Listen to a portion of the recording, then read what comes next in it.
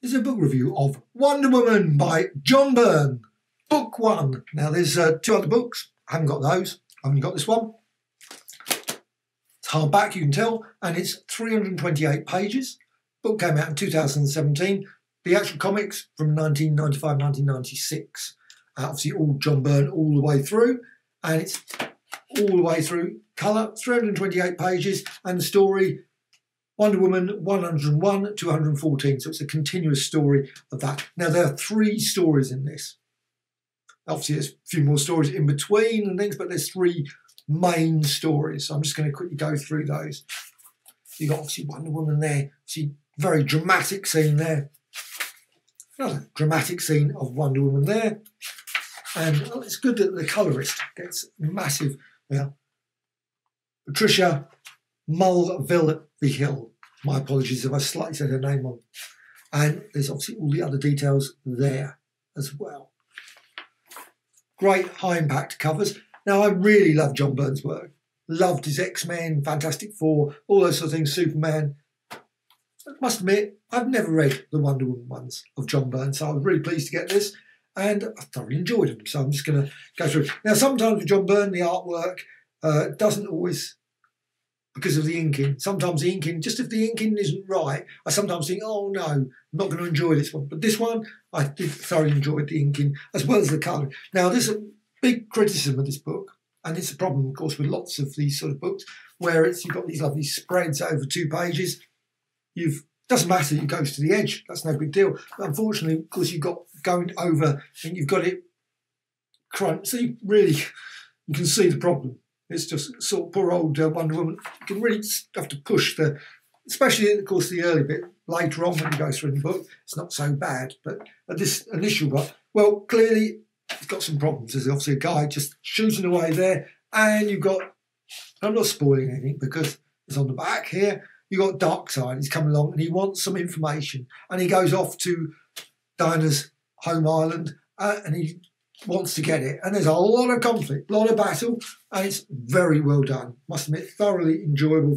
You know, he, he doesn't mess around. He, course, at the same time, there's actually quite a bit of humour from Darkseid. You've got a lot of, uh, you know, he sort of has a good laugh at times in his peculiar kind of way, that is. But you've got the story, which actually is a bit of a story that develops that's clearly for book two or book three. I don't know if it was resolved later on in the story, but you got a mention of something that's obviously clearly important later on. But there is some really great battles. Like I say, um, there's Darkseid there. But again, I say, same problem. You've got like really crunched against. If he was sort of there in the centre, it would be fine. But he's actually crunched against there, so you've got really in the gutter. Makes it very hard to look at. And it's occasionally with the writing as well. There's some where you've got Don Princess. It's really here, really tight. You can have to push the pages to actually see the writing, but you have to push that again, which is always a problem. However, there's a real great storyline here with, um, I love that bit, Lifelines. It goes back to Gateway City, and you've got uh, obviously holding up that chair. Bit lucky that chair didn't. Always, I love those scenes. Well, the chair wasn't very stable and just broke, be quite painful. She'd have to be quick, quickly catch her before she crashed to the floor. It'd be quite painful to hit that head against that. Very careless bit of uh, lifting up a chair with someone on it, assuming the chair can stand that, of course. However, got some great characters that turn up in the storyline, uh, the next storyline. Like I say, this book's got like three main stories. Obviously, there's other stories in between, but you've got here lifelines, and you've got uh, um, obviously Diana and you've got Cassie or Cassandra, Wonder Girl, which is quite good as well. And it actually mentioned on back again. I always have to check to make certain that, that I'm not saying it's particularly a spoiler. It's not a spoiler when it's on the back. So you can see it, and you would probably see it in any description thing. So you've got Cassandra, she learns all her powers. And you've got some very dramatic scenes, lots of battles as well, of course.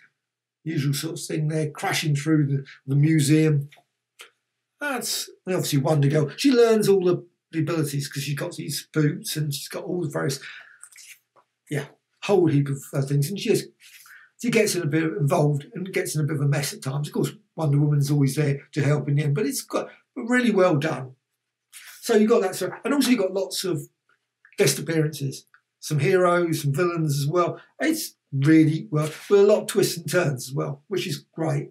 Nice little thing. However, there's another story that's really good. And I'm, again, I'm not. Trouble is how to show it without showing anything. Yeah, Wonder Woman. There's a great cover, obviously there, absolutely superb. But it's obviously a little bit of a giveaway who's in it. But there's a bit more of the story than that. So it's not straightforward that it's this person, that person. You've got a variety of different characters turn up. And also, you've got this appearance of this other person that's a superpower being, which is, I think, a storyline obviously clearly was probably in the next volume. So you've got oh, some great high impact storyline. And there's real nice cameo appearances as well of some of the characters that uh, sort of half turn up and then don't turn up in the story, which is really quite nice. And, and again, thoroughly enjoyable. And all the way through to the end. And then you got a very unusual last story, which is still connected with the previous story with all the other characters, but it's slightly different.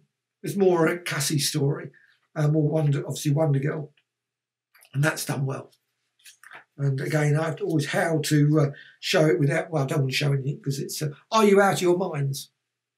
You got the mum, obviously, of Cassie, sort of suddenly finding that her daughter's going off doing fighting in various things and getting involved, nearly gets killed, all those sort of stuff, usual sort of things that happen. Obviously, probably goes off to the, to the Teen Titans and all those sort of things. So, probably not something that you think, you know, that's going to be great. However, all the way through to the end, and that's it. And then you find there's a big twist at the end, massive twist on the last page, which I'm not going to say anything about, but obviously leading into book two and book three. And uh, that's it. So this is Wonder Woman. I thoroughly enjoyed this by John Byrne. I love John Byrne's work. So uh, I always find him immensely inventive in all his stories. Um, brilliant artist, and uh, I loved it.